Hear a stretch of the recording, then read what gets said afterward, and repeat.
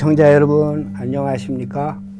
천지TV에서 마련한 종교 채널 종교 산책 일곱 번째 시간입니다. 매주 월요일 오후 3시 천지TV에서 생방송으로 진행되고 있습니다. 저는 진행을 맡은 회원 스님입니다. 산책가족 여러분, 지난 한 주간 잘 지내셨습니까?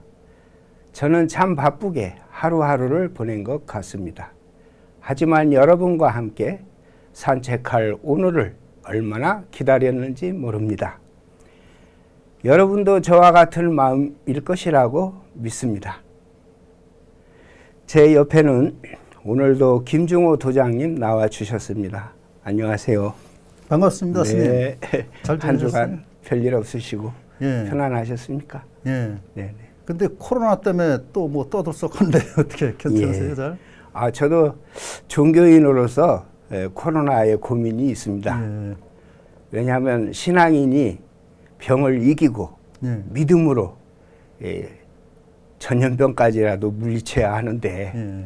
현실은 그렇게 믿음으로 물리쳐야 하는 사람이 거꾸로 전파하는 예. 예, 그런 경향이 있기 때문에 예. 예. 예, 고민이 많아요. 그렇겠죠. 믿음으로 이긴다고 모여라. 그러면 좋겠는데 예. 또 보는 눈도 있고 그렇죠. 또 실제로 병이 옮기면 어떻게 하게 되겠어요. 그렇겠죠. 예. 그렇다고 모이지 말아라 해도 또 신앙인으로서 믿음이 없는 행동이 되고 그렇죠. 이래도 저래도 고민입니다. 예. 예. 어, 돈을. 택하자니 사랑이 울고 사랑을 택하자니 돈이 운다는 이수일과 심순의 예. 마냥으로 이러기도 곤란하고 저러기도 곤란한데 아 이게 길어지면 좀 스트레스가 예. 좀 예. 늘어날 것 그렇겠습니다. 같습니다. 뭐 각 방면에서 전부 힘들어하는 예. 것 같습니다. 예. 안 모이고 자- 각자 기도를 해서 빨리 걷어가기를 바랄 뿐입니다. 그렇다고 모쪼록. 보이지 말라 그러면 이게 종교인으로서 아주 이게 또 형편없는 사람이 되는데 예, 예, 예. 참 고민이 많습니다. 예. 네, 아유, 네. 걱정이 많으셨습니다. 예. 오늘은 데일 카네기 교수의 어록을 가져봤습니다. 인간관계에 관련한 많은 책을 출간해 화제가 됐던 인물인데요. 유명한 작가이자 교수였던 데일 카네기 선생의 교훈을 한번 읽어보겠습니다. 원수에게 보복하려고 하지 마라. 그것은 원수에게 상처를 입히기보다 더 많은 상처를 자기 자신에게 주는 일이다.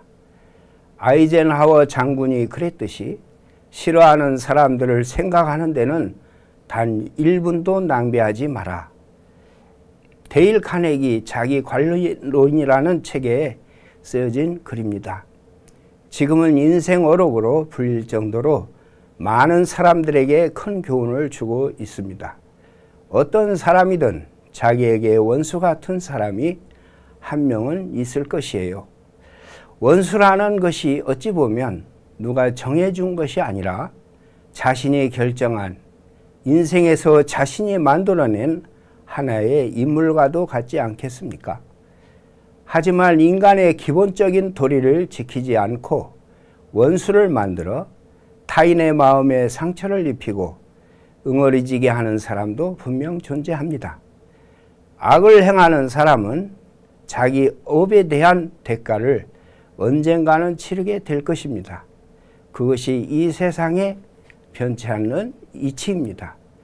그렇기 때문에 굳이 원수 같은 그런 사람 때문에 응어리진 마음으로 인생을 살아가 가야 할 필요가 없다는 것입니다. 그것은 자신에게 더 큰 상처를 주는 것이라고 할 수가 있습니다.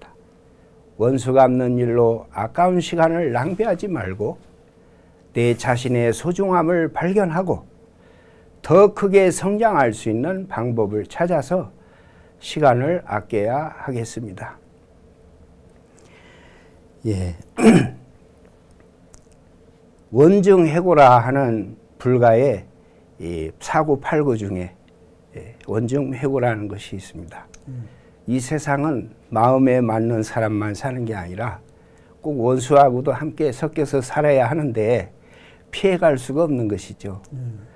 식구가 왼수면 어떻게 피해가고 자식이 왼수면 그 안 만날 수도 없잖아요. 그렇죠.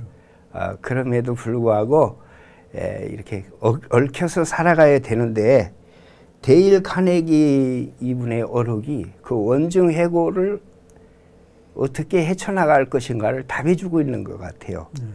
원수에게 보복하려고 하지 마라.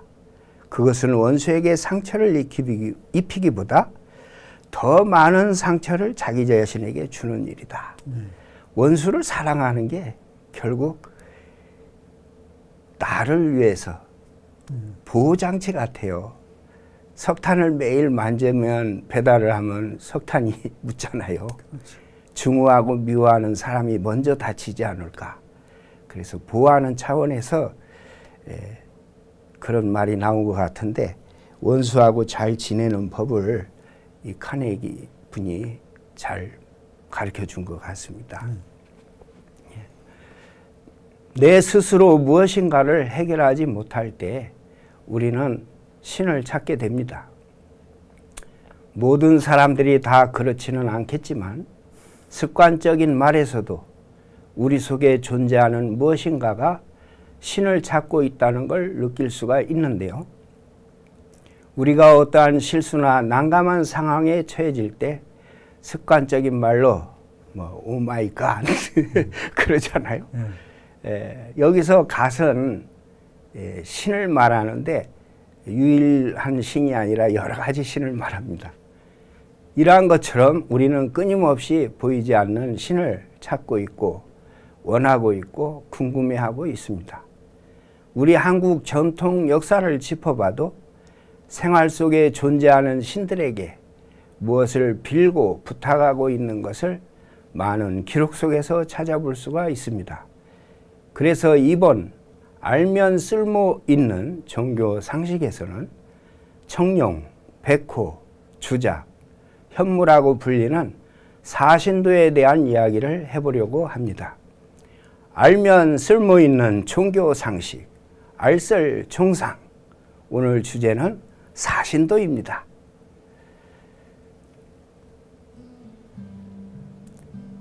고구려의 집안 왕과 귀족의 무덤 내부를 보면 종종 사신도가 그려진 것을 볼 수 있습니다.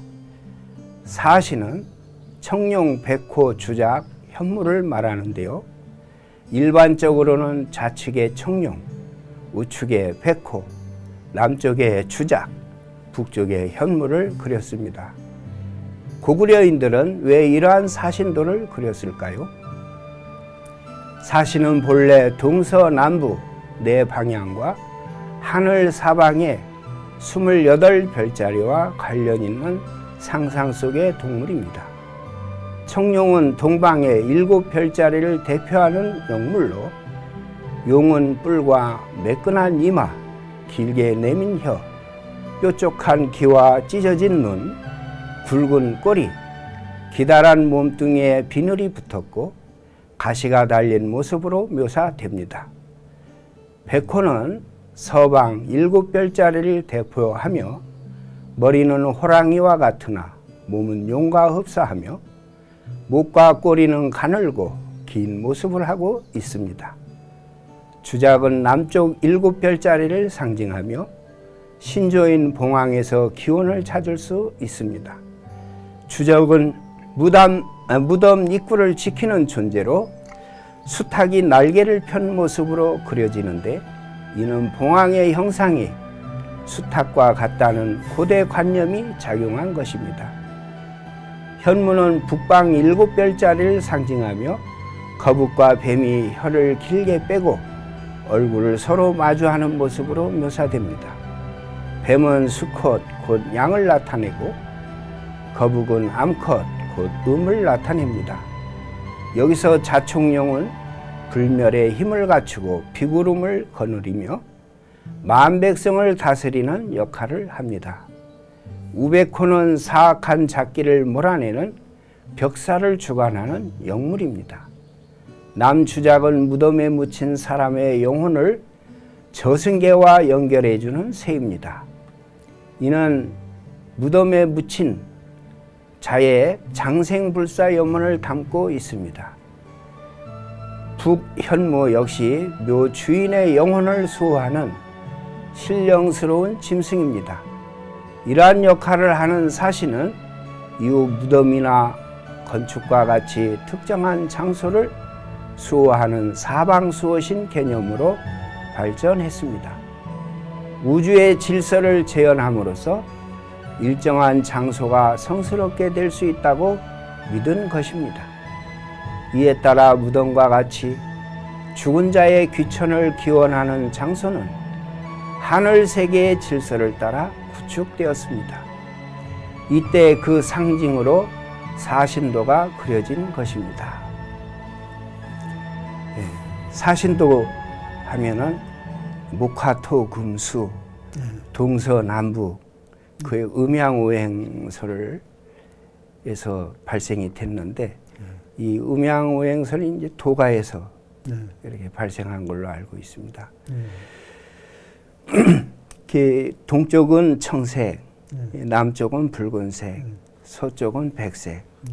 북쪽은 검은색. 음양오행인데 예, 중앙은 황, 황색. 이것을 이용해서 이 세상에 이렇게 음양오행이 완벽한 자리가 많지가 않고 네. 어딘가 하나가 이렇게 리듬이 깨져 있고 네. 그런데 저런 그림을 통해서 네. 예, 음양오행의 균형을 맞춰주는 음. 그런 역할을 하게 됐는데 저게 상징이기도 하지만 실제적으로 그 평면 에너지적인 게 돼가지고 네. 이 에너지가 발생이 되더라고요. 네. 그래서 음양오행의 바란스가 깨진 것을 음. 조화롭게 조절해주는 음. 그런 작용을 하는데 역시 어떤 오행이 깨졌는지를 보는 거는 도통을 해야만 보겠더라고요. 그냥 내 생각이 아니라. 그렇지. 그래야 뭐가 모자란 줄 알아서 백호가 약하면 백호 쪽을 저런 그림을 논다든지 음. 해서 오행 조절을 잘 해가지고 흉지를 명당으로 만들고 조화롭게 음. 평화롭게 하는 그런 작용이 있는데 이 음양오행설은 이 풍수에서도 많이 사용을 하고 그렇죠. 또 인체도 네. 그 오행침이라는 게 있지 않습니까? 네, 그 오행을 조절해서 인체를 바란스를 맞춰가지고 면역 체계를 강하게 음. 해줘서 병을 고치는 음. 또 한쪽이 약하면 보해주고 너무 세면은 꺾어주고 하는 그런 음양오행설이 동양학에서는 빠질 수가 없잖아요. 그렇죠. 어, 이런 훌륭한 에, 것이 보이지만 않는다고 해서 미신화하는데 저는 보이지 않는다고 해서 미신화하거나 하는 건 아주 어리석은 그렇죠. 오히려 고대의 그 철학보다도 뒤떨어진 세계를 현대인들이 사는 것 같아요. 예. 제가 확연히 보면 확실히 고대인들이 보이지 않는 세계를 더 보고 그런 것을 조절하면서 살았지 않았나. 예. 우리 인간의 본성이 개발되면 그런 능력들이 개발이 되는데 예. 요즘 아이들은 전부 보이는 거 위주고 무슨 과학적이라 해가지고 하는데 정신 세계는 너무 낙후돼 있는 것 같습니다. 음, 맞으신 말씀. 예, 그래 좋은 거는 복귀해서 더 개발할 필요가 있다고 예, 봅니다. 예, 맞습니다. 신은 참 다양한 형태로 우리 곁을 지키고 있는 것 같습니다. 그러나 우리가 반드시 잊지 말고 알아야 할 것은 우리를 창조한 신은 분명 하나다라는 겁니다. 가짜가 아니라 진짜 신 말입니다. 신도 많이 있죠. 예, 천신도 있고 산신도 있고 용왕신도 있고 또 돌아간 죽은 영혼들도 뭐 신이라고 이렇게 해서 보시지 않습니까? 네.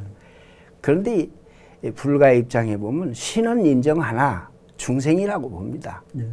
왜냐하면 해탈하지 못한 존재들이 네. 신이라는 이름 하에 네. 행세를 하는데 네. 아, 신통력이 있다고 해서 흥분한 건 아니거든요. 네. 신통력이 있을지라도 네. 신이라는 이름이 붙었지만 아직은 충생이다고 이렇게 보는 게 이제 불교의 입장인데 아무튼 예, 우리는 이 신의 존재에 대해서 내세론에 대해서 좀 하나하나 이제 알아가야 되지 않겠나 이렇게 생각을 하고 진짜 이 하나에 이르는 대생명력 거기와 하나가 된 자.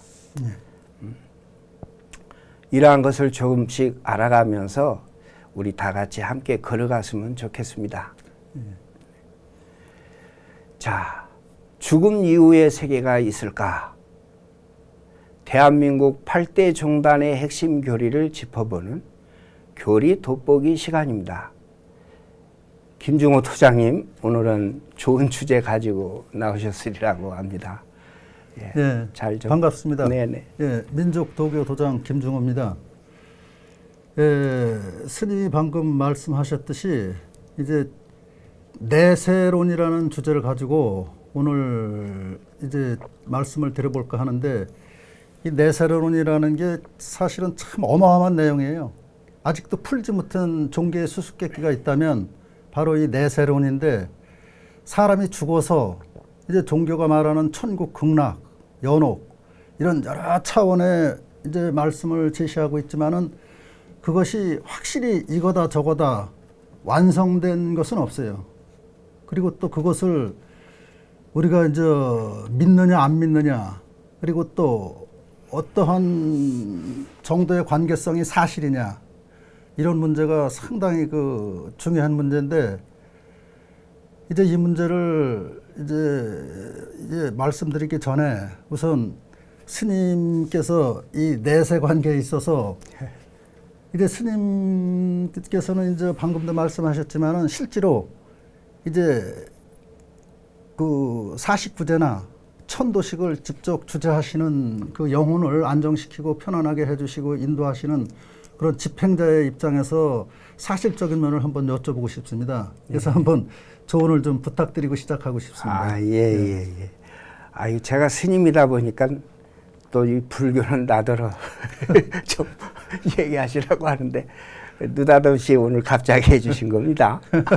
죄송합니다. 예, 예, 예. 스님 계신데 또 제가 주제넘게 아, 하는 것도 그렇고 스님이 예. 이제 직접 집행하시는 입장에서 한번 사실적인 예. 면을 말씀해 주시면 저희들에게 많이 도움이 되겠습니다. 예, 예. 그 답을 미리 주시면서 물어보신 겁니다. 천도제를 직접 주재하시는데 라고 했기 때문에 천도제는 왜 하느냐 이거요. 예. 예, 영혼이 있기 때문에 하죠. 그렇죠. 예. 예. 그런데 이제 천도제는 영혼이 있는 걸 인정하는 겁니다. 어, 그러니까 하죠. 그렇죠. 그렇지 않으면 사기꾼 아닙니까? 아, 예. 영혼이 없다면서 무슨 천도제를 하냔 말이에요. 불교도 영혼을 인정합니다. 그러나 천도제는 극락항생하지를 못하고 이, 속, 이, 이 세상을 이렇게 떠들고 있는 영가나 가지 못한 무슨 집착이나 여러 가지 사연이 있겠죠. 그렇죠. 그런 사연이 있기 때문에 상승하지 못하고 음. 자기가 가야 할 곳을 가지 못한 것입니다. 음. 그런데 이 산자와 죽은 자가 함께 거하는 것이 행복하신 한 건가 하면 아 어떻게 보면 도와주로 있는 좋은 역할을 하기 위해서 못 간 분들도 있고 음. 아, 하는데 산자와 죽은 자는 레벨이 틀려요. 그렇죠. 예, 그리고 귀신같이 잘한다고 알지 않아요? 예. 산자는 몰라야 사는데 영가는 알고 있다 이 말이죠. 예. 그럼 그런 것이 불화가 되는 거예요. 내가 모르고 살아야 좋을 것도 많잖아요, 솔직하게. 예. 예. 그런데 영가는 귀신같이 알고 있으니까 야, 저 자식 거짓말한다. 그렇죠. 어? 네. 그러면서 방해를 하는 거예요. 산자는 음. 이루어지기를 기도하는데, 네. 야, 쟤는 뒷구녕에서 뭐 잘못하고 있어. 어. 이 귀신이 아니까 방해를 하죠. 그렇죠. 뭐 이런저런 게, 근데 몰라서 모르고라도 대할 일도 있고, 네. 레벨도 틀리고 하는데, 죽은 자는 예, 곧 좋은 곳으로 가서 자녀를 위해 기도해주고 잘 되기를 발언하면 될 것을 네. 같이 어울려서 하는 거는 이게 바란스가 안 맞아가지고 되는 일이 잘 깨지고 아. 뭐 이러기도 합니다. 음. 어찌됐든 못 간 자도 불행하고 또 못 가게 하는 그 원인자도 불행한데 음. 이런 것을 잘 해서 극락항생할 수 있게끔 그렇게 하는 겁니다. 좋은 음. 곳으로 가시라고. 음. 음. 그러니까 불교에서는 예, 영혼도 인정하고 음. 또 내세론을 긍정합니다. 음. 그러나 예, 그 속에서 중생의 입장에 있으면 고가 항상 따르는데 예. 그 고를 해결하려고 하다 보니까 예. 이제 극락왕생하기를 발언하는 것이죠. 예. 또 실제로 지장보살님이나 이제 이 목건전 춘자나 예, 어머님들이 다 극락을 못 가셨어요. 예. 그런데 예, 지장무살님은 어머니가 극락왕생을 못 하셨으니 예. 모든 자기 있는 걸 다 팔아서 음. 극락왕생을 기도합니다. 심지어는 음. 음. 옷까지 달라고 해요. 입은 옷까지. 음. 그러니까 옷도 내준 거예요. 예. 그러다 보니까 옷 빨가벗어졌잖아요. 예. 그래서 땅을 파고 음. 자기 몸을 감춘 거예요. 아. 그러면서 그래서 지장이라. 아. 벗은 몸을 보일 수가 없어서 땅을 파고 기도했다. 결국 극락왕생하게 했습니다. 아. 또 목곤년 전자도 부처님 제자가 됐어요. 아. 그런데 어머니가 재산을 다 팔아먹고 보는데 목곤년이 천안 통이 열렸는데 본이 지옥에 있다 이 말이에요. 그 부처님 제자인데 부처님이 내 제자의 어머니가 지옥에 있는데 음. 극락왕생을 안 시켜주면 또 되겠어요. 음. 그래서 모든 것을 또 다 팔아서 음. 이 만인에게 베풀면서 음. 이제 극락화 기도하게 했죠. 그리고 네. 결국 극락왕생으로 옮겨지게 했습니다. 네. 그러니까 불교도 예외가 있어요. 네. 꼭 내가 예, 업에 의해서 극락을 간다라기보다 극락 가는 거는 타력에 의해서도 갈 수 있는 어. 길이 열린 것이죠. 어. 누구든지 내 이름을 열 번만 지극정성으로 음. 부르게 하면 극락왕생하게 해주겠다. 음. 성경에도 주의 이름을 부르는 자는 구원을 얻으리라 그랬잖아요. 음. 불교에도 그게 있어요. 열번 연불 열 번을 불러라. 근데 그 열 번이라는 게, 아, 전쟁터에서 지금 총을 맞았는데 언제 열 번을 합니까? 근데 그 열 번이라는 건 숫자인데 숫자를 잘 연구하고 예예 예. 지극정성으로. 예, 더 10이라는 숫자 이상이 없지 않습니까? 예, 예, 예. 그러니까 마지막 수란 말이에요. 예. 그러니까 꽉찬 수, 충만한 수, 더 이상이 없는 그 진실을 말하는. 그렇죠. 지극지정성으로 한 번만 해도 그게 열 번이고 라디오로 수만 번을 레코드를 돌려도 네. 진실이 없으면 한 번에도 안 되는 거예요. 그렇죠. 이 지극정성으로 예. 귀한다 하면 예. 하게 해주겠다 했고 예. 그러나 이제 다양한 중생이 예. 이렇게 살고 아까도 28도 예, 28천이 있었잖아요. 예. 모든 그 28천에 있는 중생들이 있을지라도 깨우쳐서 내가 해탈을 해서 성불 하면 되겠지만 극락왕생하는 거는 음. 성불을 하지 않은 상태에서도 음. 이갈 수 있다. 아, 예, 아, 이것이 이제 불교입니다. 예, 예. 다 하려면 한도 아, 없고 그렇죠. 예, 예. 예. 감사합니다. 결론도 못 내리는 상태에서 마칩니다. 예, 예, 감사합니다. 예. 하여튼 이 불교가 오래됐고 또 여러 가지 그 영혼에 대해서 직접 주관하고 계시기 때문에 예. 이제 불교의 구원 이 내세론하고 이제 그 제가 좀 이렇게 스님께 부탁을 드렸습니다. 그래서 스님께서 불교에 대한 내세론에 대해서 이제 겸해가지고 연계 문제를 여러 가지로 세세하게 말씀해 주셨습니다. 감사합니다. 그리고 이제 다음은 어, 천주교에 대해서 내세론을 알아보겠습니다. 카톨릭에서 내세우는 천국과 지옥 그리고 연옥으로 말할 수 있습니다. 이제 천국은 창조주 하나님이 계신 데고 지옥은 이제 형벌로서 고통스럽고 힘든 불지옥에 가는 데고 그 다음에 특별히 연옥이라는 것을 제시했습니다. 그 연옥이라는 것은 대죄를 지었어도 이제 그 모르고 지은 사람 그리고 작은 죄를 지은 사람들 이런 사람들이 이 교화하고 회개하고 반성할 수 있고 그 죄를 사함 받을 수 있는 하나의 그 정화소로서 연옥이라는 것이 이제 특별히 그 천주교에 있어가지고 이제 천주교를 믿는 분들은 그러한 그 연옥에서 웬만한 이제 죄나 이제 벌은 피할 수가 있고 거기서 정화해가지고 뭐 이제 천국으로 갈 수 있다는 그런 내세관입니다. 참 좋은 내세관이죠. 이제 지상에서 삶을 이제 회개하고 반성할 수 있고 천국으로 갈 수 있다는 대기소 같은 역할을 하니까. 그리고 이제 다음은 개신교입니다. 개신교에서는 의인은 하나님이 계신 천국에 가고 영생을 얻을 수 있고 악인은 지옥에 가서 형벌을 받는다. 그게 이제 특별히 개신교에서 의인이라고 하는 말씀을 쓰셨습니다. 사랑과 자비라는 그런 그 베품의 모든 행위를 갖고 천국 극락을 이제 형벌을 따지는데 의인 하늘 앞에 바른 사람 창조주 앞에 바른 사람 올바른 삶을 산 사람을 얘기하는 거로 알고 있는데요.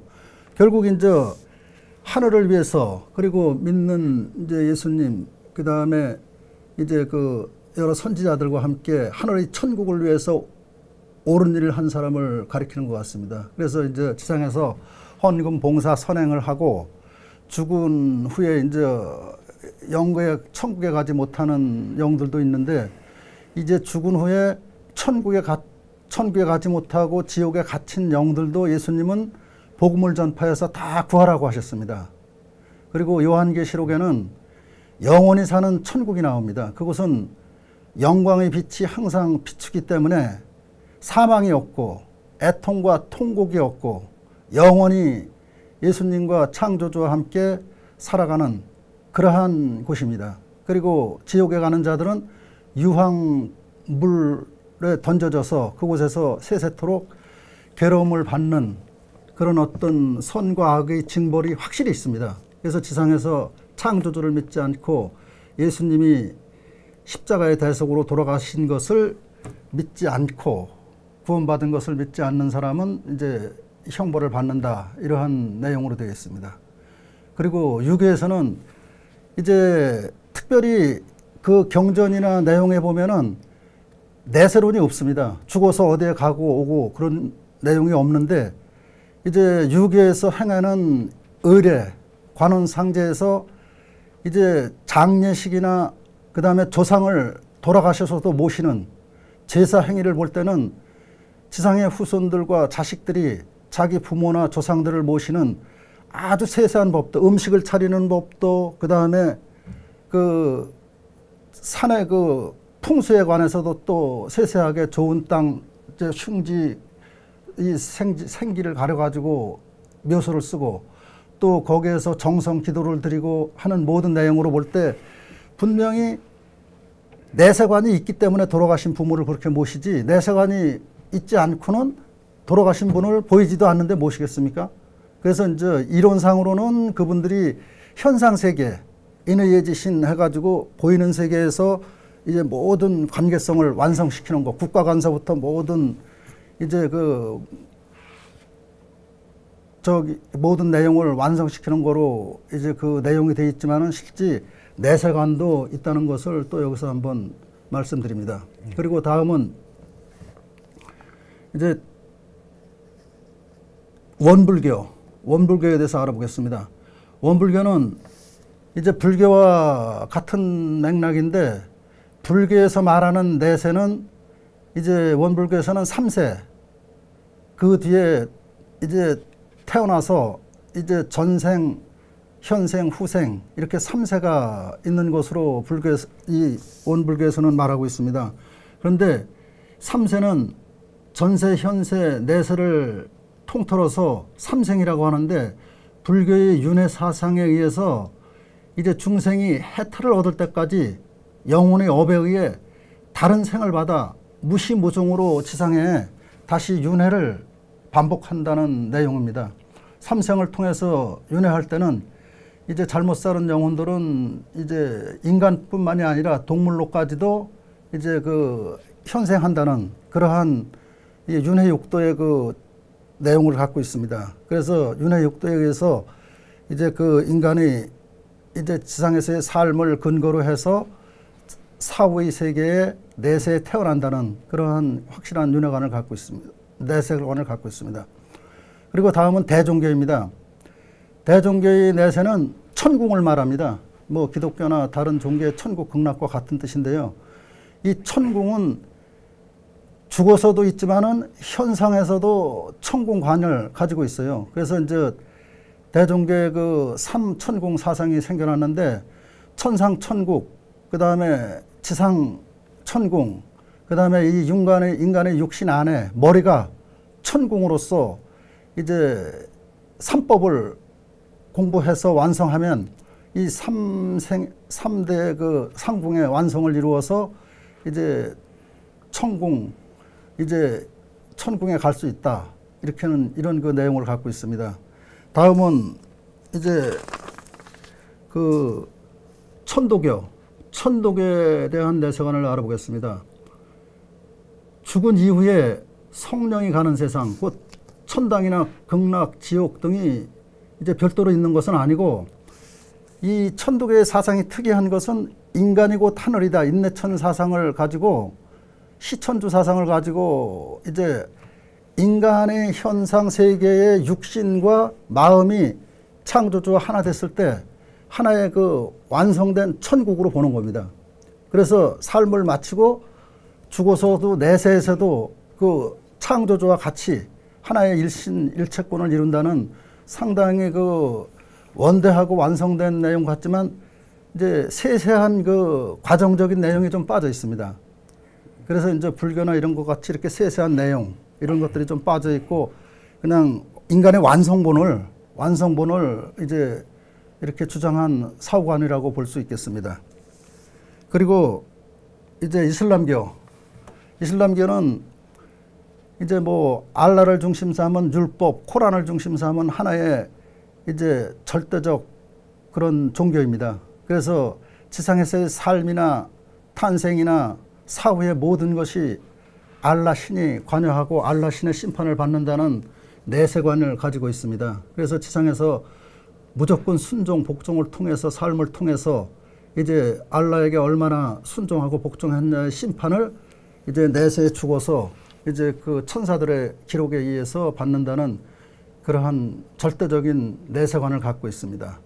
그래서 이제 이렇게 뭐 대충이라기보다는 좀 이렇게 내세관을 알아봤는데 이제 인간의 결국 근본적인 문제는 인간의 영혼이 어떤 과정에 의해서 태어나느냐 이게 문제예요.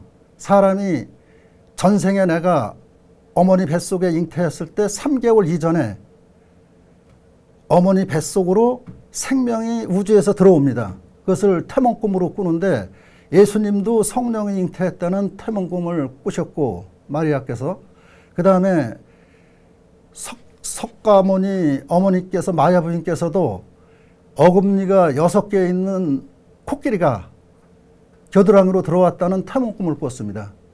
그리고 우리가 주위에서 이제 들어보면은 다 태몽 꿈에 관한 얘기가 많습니다. 그런데 태몽 꿈은 신이 인간의 육신 속으로 태, 태, 태중으로 들어오는 관계성, 그 관계성에 어떠한 전생의 신이 들어오느냐 이것이 문제고 지상에서 그 신과 합의를 해서 지상에서 이제 20세까지 약 성장 과정을 거쳐서 그 신의 도움을 많이 받아요. 그 전생의 신의 도움을 받아서 성장하고 20세 이후에는 이제 자신의 영혼과 그 전생의 영혼과 합해져 가지고 하나의 자기 지상에서의 영혼을 또 완성시켜 나갑니다. 그래서 자기가 죽으면 자기의 그 영혼이 육신은 땅으로 가고 영혼은 태어나서 다시 그 영혼이 있는 영계라는 곳, 영계라는 곳은 이 모든 공간의 세계를 얘기합니다. 지구상뿐만 아니라 태양계뿐만 아니라 이제 북두칠성, 카시오페아 북두칠성, 은하계까지 하나의 커다란 집이에요. 하나의 시스템을 갖고 움직이고 있습니다. 그래서 지구성이 자전 공전 좌회전을 하면서 지구성이 자전을 한 바퀴 하면은 1일이고 이거를 12등, 12등분한 게 시간이고 지구성이 태양을 한 바퀴 도면 1년이고 이걸 12등분한 게 월이에요. 그리고 태양계는 오리온 벨트라는 하나의 은하의 이제 중심을 가지고 이제 은하의 중심 블랙홀을 1초에 200km씩 움직이고 있어요. 그래서 이 어마어마한 커다란 집, 블랙홀을 중심으로 한 하나의 은하의 생명권이 이 지구성에 우리들과 연결되어 있는데 이제 연결하는 관념에서 봤을 때 영이 사는 관계가 우리 지상에서 스님이 말했듯이 미완성의 영으로 태어나면 지상에 머물러야 돼요. 어디 갈 수가 없어요. 미완성이기 때문에. 그 살아있을 때 지식과 정보와 의식과 에너지, 육신의 동물성을 벗고 완성한 성자가 됐을 때 지구성을 벗어나고 그 다음에 태양계를 벗어나고 그 다음에 카시오페아 북두칠성 북극성 오리온 벨트를 벗어나서 은하의 중심인 창조주가 있는 블랙홀까지 연결이 돼야지 마지막 그 영혼의 완성이 된다고 봅니다.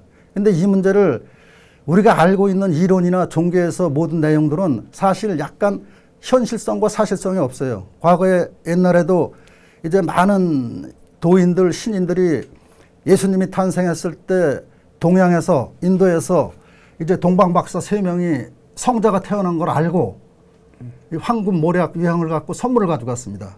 이것은 뭐냐면 이 인간은 신의 세계에서 생명이 오고 가고 인간의 육신도 지상에서 태어나지만은 인간의 영혼도 육신에서 태어, 난다는 것을 이 시간 통해서 한번 말씀드리고 이 내세관에 대해서 내세관에 대해서 한번 이, 이런 멘트를 해봅니다. 이제 상당히 뭐 이렇게 좀 범위가 넓은데 그래도 이런 시간을 통해서 우리 종교 지도자들이 이 넓은 영계라는 곳에 또 우리가 종교에서 부르짖는 각자 나름대로의 천국과 극락 내세관에 대해서 좀 더 현실적으로 이제 좀 더 폭넓은 관계성을 가지고 인간을 이제 영혼을 완성시키는데 주력하고 이제 지금 뭐 복잡한 문제가 종교 간에 많은데 종교 간의 이기적인 집단으로 이제 종교가 많이 전락을 해서 대립 갈등 충돌이 일어나서 정말 몹쓸 못 볼 거를 많이 보고 있습니다. 네. 그래서 이런 문제를 이 시간에 한번 제시해 보는데 하여튼 종교 지도자께서는 깊이 생각하시고 한번 이제 새로운 종교의 완성의 길을 모색해 주셨으면 감사하겠습니다. 감사합니다. 네. 정립이 안 된 내세론이다 보니까 물론 교리로는 다 정립이 돼 있지만 또 주장하는 바가 조금씩 다르기 때문에 예, 상당히 주관적일 수도 있고 합니다. 아 조금 전에 그 느낌 아니까라는 그 구독자님께서 나이브로 댓글을 남겨주셨어요. 그 댓글 내용이 임사 체험 사례도 종종 있어서 궁금합니다 라고 이리 보내줬는데 자 임사 체험 요즘 심리학에서도 많이 하고 또 실험도 하고 많이 합니다. 근데 실제로 영혼은 어, 있어요. 몸이 죽지 않았는데 가사 임사 체험이죠. 또 잠깐 죽었다가 있을 때 영혼이 어디로 갔다 오는 그런 체험인데요. 육신이라는 것은 마이너스 성질이 있어요. 쉽게 말하면 우리 건전지가 흑연으로 돼 있잖아요. 그것이 이제 마이너스 성질이 있는데 전기는 플러스 성질이란 말이죠. 그래서 이 마이너스 성질인 이 건전지의 흑연, 그 새까만 부분이죠. 그것이 전기를 붙잡아 두고 있는 거예요. 그처럼 우리 육신은 음이고 영혼은 양입니다. 그러니까 이 육신이 건강하고 이 생체 에너지가 기가 꽉 차면은 영혼을 건강하게 딱 붙들어 둡니다. 그런데 나이가 먹으면 이 육신이 중성화가 돼요. 그러다 보니까 마이너스 성질이 떨어지죠. 그러니까 이 플러스인 영혼은 양기가 강한데 양기가 강한 것을 붙들어 두는 힘이 약해지는 거예요. 약해지다 보니까 양이 떠나가는 것을 나중에 막질 못하는데 이것이 육신과 영혼의 이별입니다. 이것이 이제 영원한 죽음으로 들어가는 것인데 임사 체험은 일시적으로 영혼을 붙잡아 둘 수 없는 상태에 이르는 거예요. 육체가. 진동수라고 그럴까 파동수라고 그럴까 기의 생체 에너지가 육신의 그 마이너스 성질을 잃어버리고 중성화가 될 때 영혼이 잠깐 떠나는 수가 있습니다.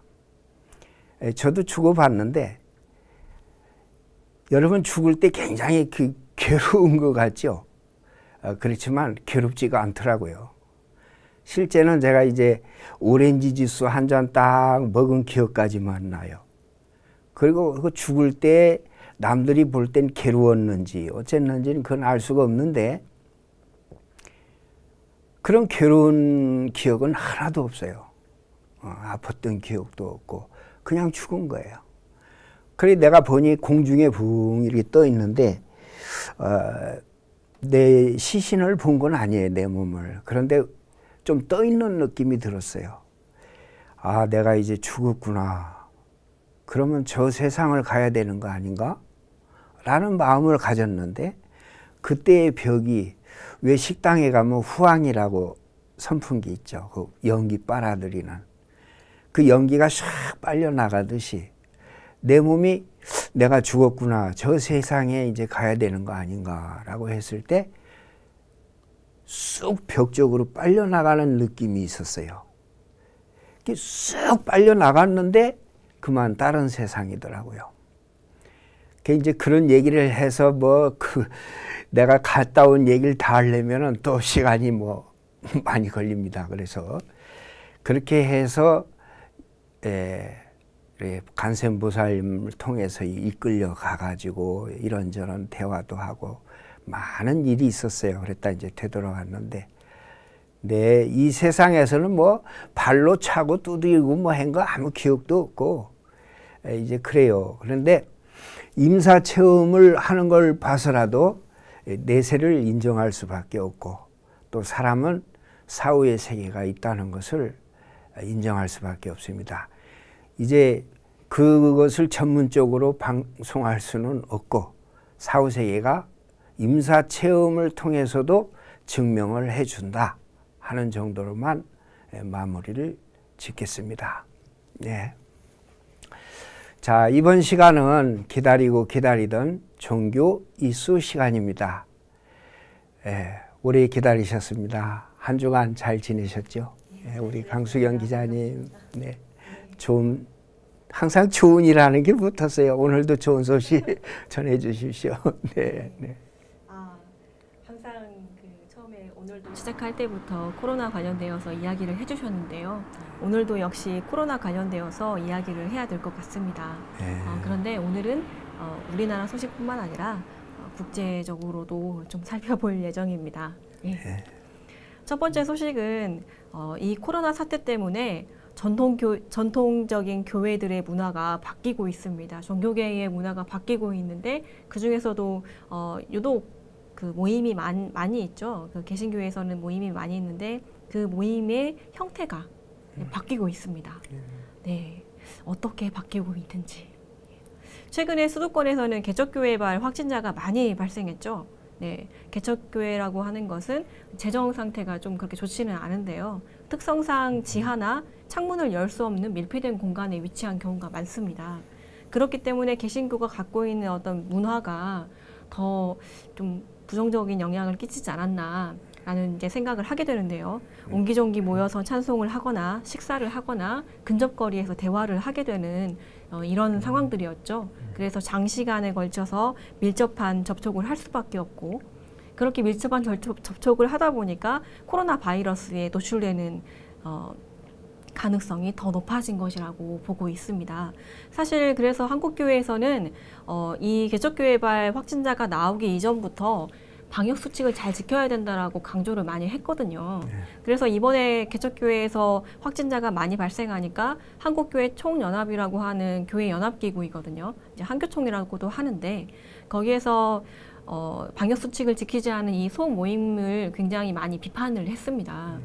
그래서 한국 교회가 도대체 어떤 노력을 하고 있길래 이렇게 비판을 했는가라는 부분을 좀 살펴보니까 대부분의 교회들이 오프라인 모임보다는 온라인 예배로 강화하는 그런 모임을 보여줬고요. 그런 모임을 할 수 없는 경우에는 모임이 폐쇄된 경우도 많이 있습니다.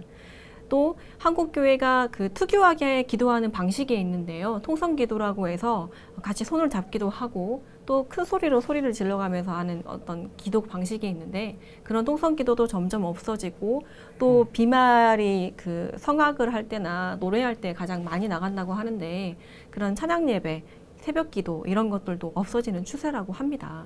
음. 또 우리나라에서는 최대 규모의 교회이죠. 그 여의도 수복음교회 같은 경우에는 예배를 넘어서 성경 공부라든지 구역 예배, 신방 모든 어떤 만남들을 다 온라인으로 할 수 있는 시스템을 강화한다고 합니다. 대형 교회 같은 경우에는 이제 어떤 재정적인 여건이라든지 이런 부분들이 확충이 됐기 때문에 이렇게 모든 모임들을 온라인으로 바꿔갈 수가 있지만 사실 중소형 교회 같은 경우에는 재정 사건, 재정 여건이 그렇게 넉넉하지가 않습니다. 음. 그래서 다른 어떤 돌파구를 찾아야 되는데 그래서 지금 그 이색 아이디어를 접목한 교회들이 나타나고 있는 게 그 하나의 문화적인 현상이라고 볼 수 있는데요. 음. 목회자가 유튜버로 변신을 해서 유튜브 내에서 이제 그 설교를 한다거나 전화나 문자를 사용해서 신방을 하고 또 어, 택배 서비스죠. 최근에는 택배 서비스가 그 집 안에 들어오는 게 아니라 집 밖에 놓고 그 가정에서 택배를 가져가는 그런 비대면 방식으로 택배가 이루어지고 있는데 그 방식을 활용해서 그 택배를 택배 방식을 이용해서 하는 그런 방식도 있다고 합니다. 또 그런가 하면 이제 드라이브 스루 방식으로 그 하는 심방도 있고요. 어, 사례를 좀 살펴보면 어, 서울 강남구에 우리들 교회라는 교회가 있는데요. 그 온라인 쇼핑몰이죠. 쿠 뭐라고 어, 잘 알려진 곳인데 거기에서 비대면 방식으로 택배를 하고 있는데 그 방식하고 그리고 QT라고 해서 어, 묵상 모임인데요. 요거를 합쳐가지고 큐팡맨이라는 서비스를 진행한다고 합니다. 그래서 어, 불신자, 믿지 않는 가정 앞에 선물 박스를 놓는 거죠. 배송하고 기도를 해주는 방식이죠. 직접 대면을 하지 않고 가정에서는 나중에 그 선물 박스를 가져가는 이런 방식으로 어, 활동을 하고 있다고 합니다. 그런가 하면 이제 어, 여름인데요. 여름 하면은 한국 교회에서는 가장 많이 하고 있는 게 바로 수련회입니다. 여름 수련회가 아주 어, 많은 횟수로 이루어지고 있는데 그 중에서도 대학생들이 모이는 청년들이 모이는 CCC 수련회는 어, 몇박 며칠을 같이 자면서 이렇게 활동을 하는 것으로 유명합니다. 그런데 어, 1958년도에 창립한 이 CCC가 62년 만에 처음으로 이 수련회를 온라인으로 진행하겠다고 얘기를 했습니다. 그래서 오는 18, 어, 8월 18일부터 20일까지 온라인 집회로 송출이 될 예정이고요. 예, 코로나가 어떻게 보면 이제 바이러스가 없어지지 않을 거라고 하는데요. 그렇기 때문에 이 코로나로 인해서 살아남기 위해서 돌파구를 찾는 그런 아이디어가 새로운 문화를 만들고 있는 것 같습니다. 예, 그래서 종교계가 이 부분으로 많이 발전을 시키지 않을까라는 전망을 해봅니다. 어, 두 번째 소식은요. 어, 저희 남미로 가겠습니다. 과테말라에서 마야 문명을 연구하던 연구가가 마법사로 몰려가지고 화형을 당하는 사건이 있었습니다. 21세기에 어, 마녀 사냥이 이루어진 거라는 비판이 아주 큰데요. 어, 사건은 지난 6일 이뤄졌습니다. 산드위스 피텐의 치마이 공동체 구역에서 발생했는데요. 교환들이 고대 문명인 그 마야의 종교와 의학을 연구해온 학자 겸 종교인이기도 하거든요. 도밍고 초크의 집을 습격했습니다. 초크는 자택 밖으로 어, 그 끌려져 나가게 됐고요. 최소 10시간 이상을 집단 폭행을 당했다고 합니다. 교환들은 이제 그 밤 동안 폭행을 하다가 날이 밝자 초크의 몸에 휘발유를 뿌렸고요. 불을 붙였다고 합니다. 초크는 살기 위해서 도와달라, 살려달라 이렇게 소리를 쳤지만 아무도 도움을 주지 않았다고 합니다. 결국 초크는 길거리에서 숨지고 말았습니다. 경찰 조사 결과 괴한들은 초크가 어, 자신 그 괴한들이 여섯 명이었는데요. 그 여섯 명 중에서 다섯 명은 일가족이었다고 합니다. 그 일가족이 왜 참, 참여를 했을까? 초크가 마법을 사용해서 그 가족의 저주를 내렸다고 봤습니다. 그래서 네. 그 저주를 내리는 마법을 부린 대가를 치르게 하겠다면서 이 엄청난 살인을 저지르게 됐는데요. 네. 그래서 이제 이 학자 초크에 대해서 좀 살펴보면 초크는 고대 마야 문명을 연구했고 마야의 문명뿐만 아니라 토속 종교를 신봉했다고 합니다. 얼마나 심취했으면은 그 종교까지 신봉을 했던 사람인데요. 마야 문명에 특히 그 자연의학에 대해서 관심을 많이 가졌던 학자입니다. 그래서 평소 논문이나 보고서를 쓰지 않을 때에는 그 마야인들이 자연의학에 사용한 약초를 찾으려고 밀림이나 어, 들판을 돌아다녔다고 합니다. 음. 그렇지만 이제 최근에 코로나 19 확산 때문에 자택에 머무르는 어, 그 시간이 많아졌고 음. 이게 바로 괴한들에게 어떤 빌미를 주는 화근이 됐다고 합니다. 아, 참 안타까운 사연인데요. 사람이 어떤 지식을 많이 갖고 있으면 그 사람이 어떤 책과도 같다, 백과사전과도 같다 이렇게 음. 얘기를 했는데 과테말라의 바에 대학의 교수이자 인류학자이고 또 의사인 모니카 베르헤르는 이렇게 얘기를 했다고 해요. 마야의 의학과 종교에 관한 한 그는 살아있는 도서관과 같았다. 방대한 지식을 갖고 있는 그를 불에 태워 죽인 건 마야 문명의 의학과 종교에 대한 전문 도서관에 불을 지른 것과 다를 게 없다라고 얘기를 했습니다. 예, 걸어 다니는 전문 도서관에 음. 불을 지르게 된 거죠. 예, 참 안타까운 사연이 네. 아닐 수 없습니다. 예. 네, 마지막 소식은 교황 소식입니다. 이탈리아로 가겠습니다. 예. 음. 코로나 직격탄을 맞았죠. 어, 이탈리아에서 3만 명이 넘는 인원이 사망을 했고 현재도 어, 전 세계에서 일곱 번째로 확진자가 많습니다. 음. 약 23만 7천여 명이 정도가 확진자로 지금 현재 오늘 아침에 어, 집계가 됐고요. 그리고 프란치스코 교황이 이 코로나19 사태로 직장을 잃거나 생계에 어려움을 겪고 있는 이탈리아 로마의 소외계층, 노동자 계층이거든요. 이 사람들을 돕기 위해 노동자 기금을 설립했습니다. 어, 일단은 100만 유로, 한화로 약 13억 5천만 원 정도 되는데요. 이 돈을 할당해서 어, 운용할 계획이라고 합니다. 기금 관리는 어, 가톨릭계 국제 자선 단체인데요. 카리타스의 이탈리아 지부에서 관리를 한다고 하고요. 어, 교황은 이 외에도 앞서서 계속 기부를 진행을 해왔던 것으로 잘 알려져 있습니다. 지난 3월에는 카탈리, 어, 카리타스 이탈리아 지부에 10만 유로를 어, 기부를 했고요. 그리고 이탈리아에서 가장 피해가 심각한 지역이 북부 어, 람바르디, 어, 롬바르디 쪽에 주인데요. 거기에 있는 교황 요한 23세 병원에 약 6만 유로를 기부했다고 합니다. 그리고 4월에 와서는 극빈층 빈곤 국가를 돕기 위해서 기금을 조성을 했는데요. 첫 기금으로 66만 유로를 배정했다고 합니다. 예, 그리고 이제 지난달 코로나 직격탄을 맞은 노동자들을 돕기 위해서 이 노동자 기금을 마련을 한 거였고요. 어, 교황은 이렇게 얘기를 했다고 합니다. 현재 이 코로나 위기를 계기로 사람과 노동의 존엄이 모든 것의 중심이 되도록 다시 놓이도록 함께 노력하자라고 당부를 했다고 합니다. 어, 이처럼 어, 코로나 때문에 어떤 종교계의 문화도 많이 발전이 있었고 그리고 또 안타까운 사연도 있었고 또 좋은 소식도 있었습니다. 네. 네, 오늘의 종교 소식은 여기까지입니다. 네. 예, 한 주간 많은 종교 이슈들이 있었어요. 그, 이, 앞으로 이제 코로나가 계속 이렇게 잠재적으로 오래되면 첫째로 이 마스크 쓰고 다니는 것을 혐의스럽게 생각했는데 문화가 이제 바뀌어서 호의적으로 바뀔 것 같고 또 이게 오래되다 보면 온라인 절, 온라인 교회가 생기지 않을까. 그래서 조그만 공간만 갖고도 어떻게 잘 할 수 있는 길도 열리지 않을까. 문화가 많이 바뀔 것 같습니다.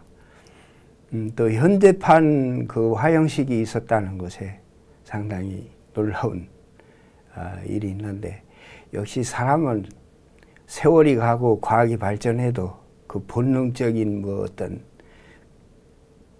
그런 것들은 변하지 않는 것 같아요.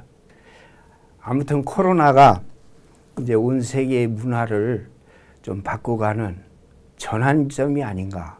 그것이 하늘에서 질병을 내려가지고 문화를 좀 바꾸는 예, 정화 작업을 하는 데 뭔가 뜻이 있지 않을까 하는 생각을 좀 해봅니다. 네. 예, 다음 주도 알찬 이슈 기대하겠습니다. 예, 감사합니다. 감사합니다. 천지 TV 7회 종교 산책은 6월 호국 보훈의 달을 맞아 원수를 사랑하라는 주제로 진행하고 있습니다. 고품격 교양 방송 천지 TV 회원 스님의 종교 산책. 종교 산책은 세계 모든 종교와 종단이 서로를 이해하며 함께 성장하고 상생할 수 있도록 준비한 방송입니다. 서로를 이해해야 용서를 할 수 있고 넓은 마음이 있어야 큰 교훈을 담을 수 있겠지요. 세상을 살다 보면 억울하고 분한 일들이 많을 겁니다. 내 뜻대로 되지 않고 내 생각대로 되지 않고 다 이유가 있어서 그렇게 한 것인데 오해를 받을 때도 많습니다. 하지만 여기서 잘 생각해 보면 오해를 받아도 억울해도 그만한 이유가 분명히 있을 것이라는 겁니다. 선인들이 남긴 지혜로운 글을 보며 자신을 뒤돌아 봅시다. 다음은 율곡 이 선생님이 남긴 글입니다. 만약 나의 잘못이 매우 작은데도 더 부풀렸다면 그 사람의 말이 비록 잘못일지라도 나에게 실제로 비방을 받을 만한 원인이 있는 것이니 역시 마땅히 이전의 잘못을 제거하여 털끝만큼이라도 남겨두어서는 안 된다. 율곡 선생님은 자기에 대해서는 엄격하신 분이 여기에서 돋보입니다. 내가 조그마한 사건이 있는데 남들이 크게 부풀려서 선전을 한다 이 말이죠. 퍼뜨리고 다닌다. 그럴 때 부풀려졌고 비록 피해를 내가 봤지만 과장된 걸로 그러나 내게 원인이 조금이라도 있었기 때문에 그런 것이니 철저하게 그거를 예, 없애도록 노력을 하라 하는 말씀인데 우리는 남의 탓을 하길 좋아하기 때문에 내 작은 것을 부풀려 말하면 못 참죠. 그런데 엄격하게 율곡 선생은 자기 자신을 더 책망하라고 하는 조금이라도 잘못이 있어서 그랬다면 부풀려진 것에 신경 쓰기보다 나를 더 혹독하게 엄격하게 반성하라는 그런 말씀으로 예, 알겠습니다. 혹시나 나에게 남으로부터 받을 오해의 소지가 남아 있을지도 모릅니다. 분명 그럴 것입니다.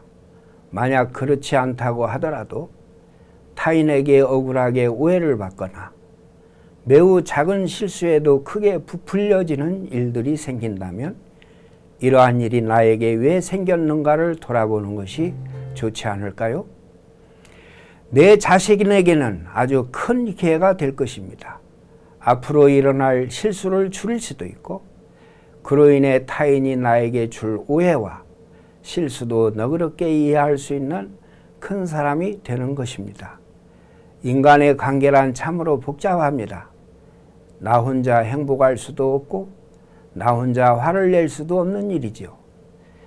나는 싫어도 함께 더불어 살아가야 할 사람들입니다.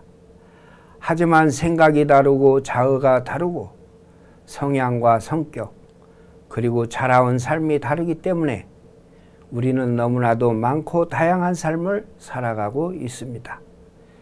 그러나 이러한 가운데 모든 사람들이 서로 양보하고 이해하고 싸움을 더디하기를 원한다면 그렇게 조금씩 갈라졌던 마음들이 하나로 모아진다면 싸움도 미움도 전쟁도 원수 삼는 일도 아마 서서히 없어질 것이라고 저는 믿습니다.